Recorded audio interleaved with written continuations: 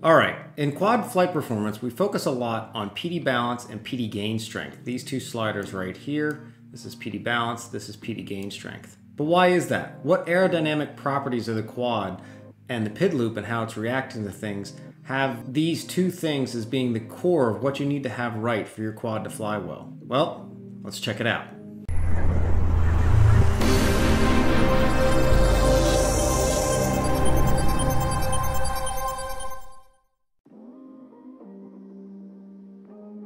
Okay, I was just finishing up a 10 inch tune and I was scrubbing through the logs and I was looking at a couple of these things and I thought this would be a really good way to kind of bring it together on why those two things are so critical. So in this section of the log, we're just doing a simple pitch forward move just on the pitch axis. So I slowed this down to 25% speed so you can see the move itself.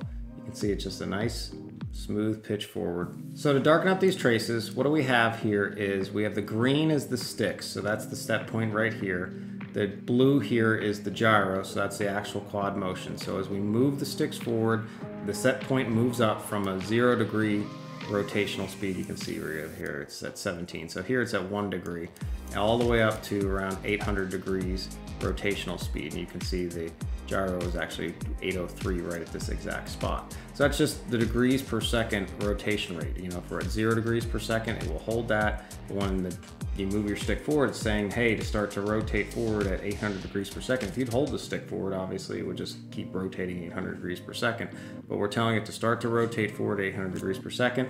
The PID loop reacts to, to tell it to do that. The first thing we see here is we have the P term kicking in because we have a gap between the difference between where the sticks are and where the gyro is actually at that's proportionally. So whatever that PID error is that's multiplied by the PID the P gain and it tells it to push it forward. We also have some feed forward here as well you know telling it to go the same direction. So if it's in the same direction as the set point that's pushing the quad into the move.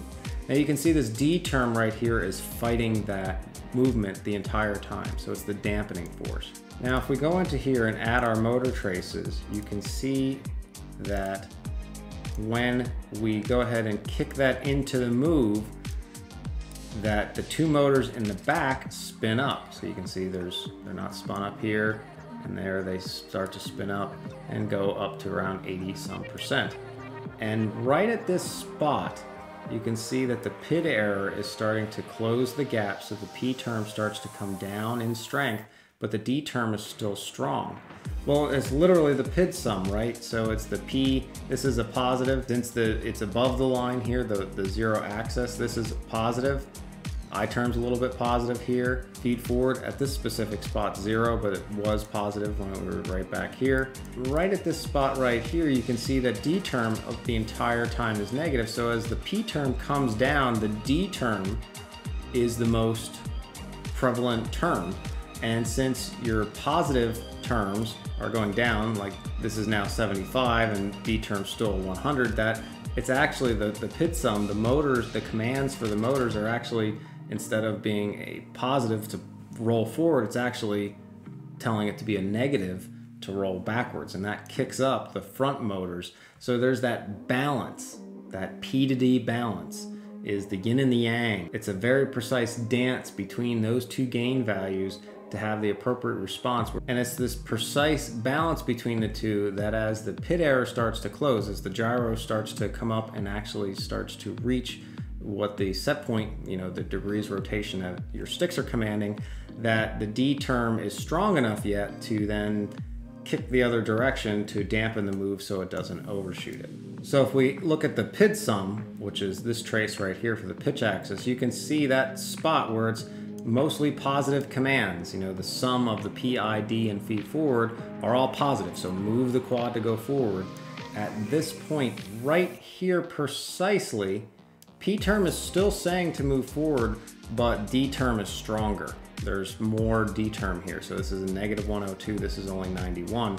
So the PID sum actually starts to invert and it's now the total sum of, of the PIDs, you know, you're just adding them together, is now a negative number.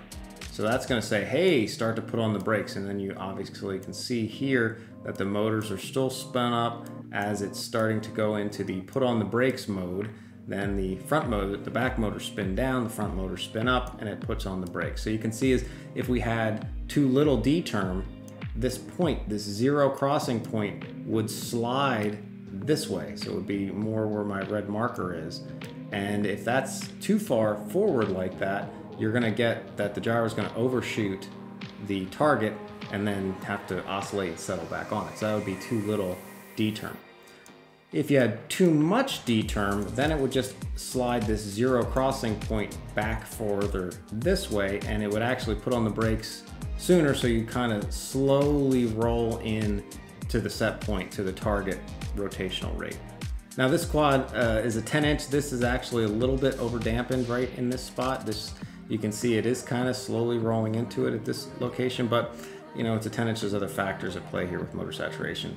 So maybe this is the perfect example, but hopefully you can get the gist of this zero crossing and how that P to D balance is a ratio that's kind of quad specific, can be axis specific. It's not an arbitrary number. It is, you know, where your quad has enough push but also has enough dampening strength that it's not going to do its overshooting. And that has to do with inertia, moment of inertia, the weight of the motors versus the center. There's a lot of aerodynamic properties going into that, but you can find that number. And again, that comes back to this P to D balance slider right here. Now what we want to do, as I've talked about in tuning, my tuning videos, two-pack tuning videos, I'll make a link to that in the upper right, is you want to have this slid down as low as you can. So you want to have as much P-term as you can, but not overshooting. And the reason for that is this next part. So this next section here is going to be a prop wash turn. So we're going to do the 180 degree turn and kind of sit back into it. You can see the quad is going backwards and right here is where the prop wash is, where I'm throttling up to then start going the other direction. That's where you're gonna get the prop wash, not as you're just drifting back. It's when you actually start to throttle up to arrest the move and go the other direction. That's when you're gonna get the prop wash to occur.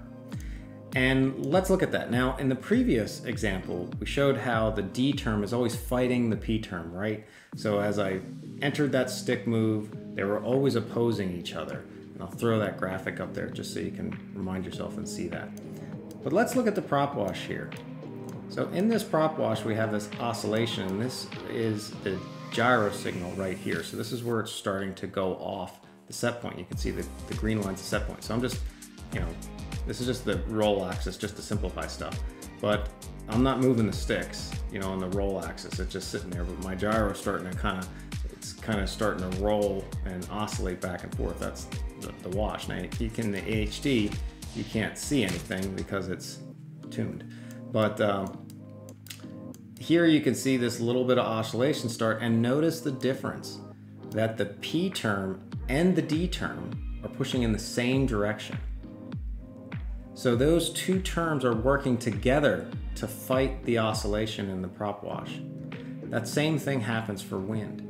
And that's why you want to have your P term as strong as it can be without having overshoot in those scenarios where they're opposing each other you don't want to have too much P term because then it would overshoot, but you don't want to have you don't want to be over dampened as well because then your P term could be a little higher. And you got to remember those two things are going to work together in prop wash moves. They're also going to work together to mitigate any wind vibration on the quad. So the P term and the D term, when you're doing stick moves, they fight each other.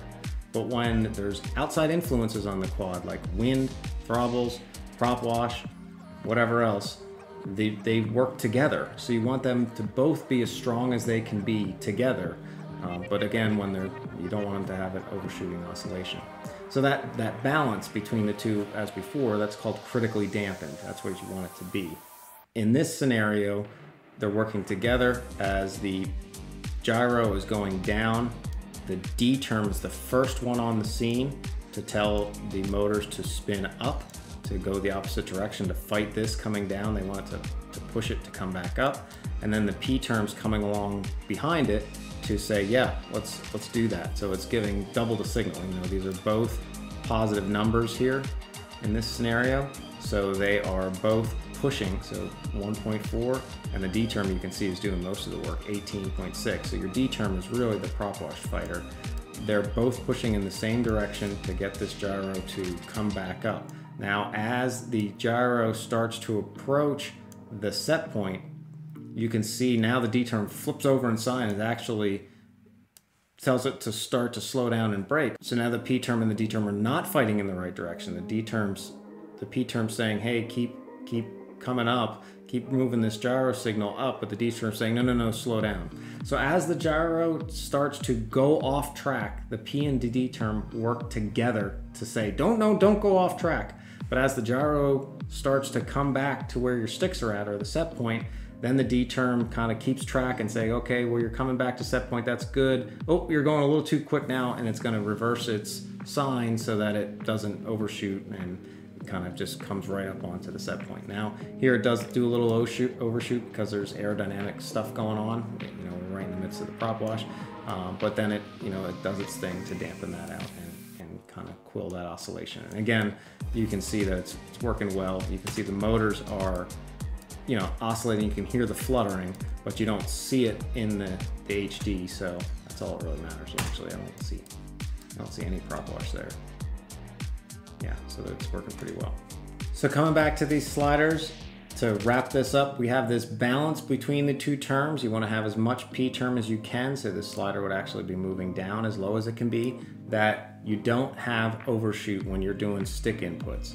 Then once you have that balance set, then you want to be looking at your PD gain strength so that if you want to combat prop wash or have a little bit more control, to increase your control, you can move both those gains up together, the P and the D, since they work together to fight throttle, to fight the outside influence of wind, to fight prop wash.